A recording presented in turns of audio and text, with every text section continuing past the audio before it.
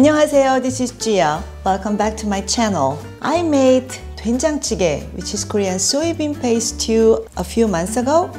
And today we'll be making 된장국. As with 된장찌개, this soup is also one of the Korean representative home-cooked dishes. I'll be making anchovy broth. Use medium or large sized dry anchovies. Remove the guts by opening the belly and scraping them out. The anchovy heads can be used or not, but the guts make the broth bitter, so make sure to remove them.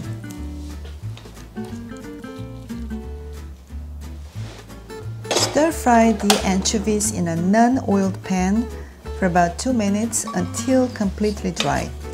This process will remove the unpleasant fishy smell from the anchovies. Add water and dry kelp to the pot. Cook in a medium heat.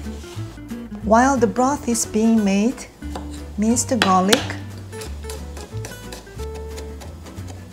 chop the chilies. These chilies are optional. You may omit it if you don't like spicy. Slice green onion. Cut the cabbage into 2 to 3 inch pieces.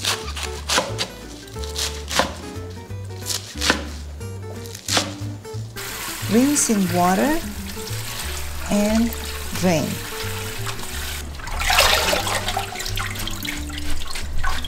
When the broth starts to boil, keep cooking for about 5 minutes, then discard the kelp. Continue cooking the anchovy broth for about 15 minutes in a medium heat. And discard the anchovies and run the soybean paste through a strainer in the broth.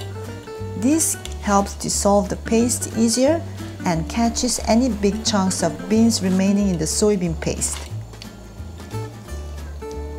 Add the cabbage leaves in the broth and cook for additional 15 minutes. It looks like a lot of cabbage, but it will shrink down to one third.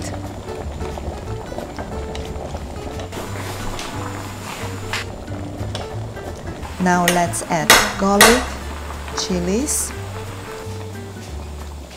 and green onion and cook for an additional 5 minutes.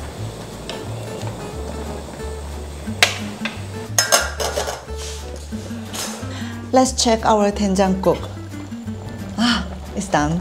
I wanna try and see if it tastes alright. Good, but it lacks a little bit of sodium.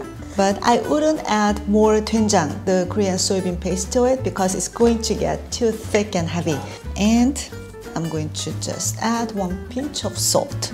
So adjust the saltiness of the soup at the last minute with salt. Now I think should be okay. Very good. If you have this classic soup with a bowl of steamed white rice and some kimchi, it's going to be delicious. Thank you for watching. I'll meet you on my next video. Bye bye.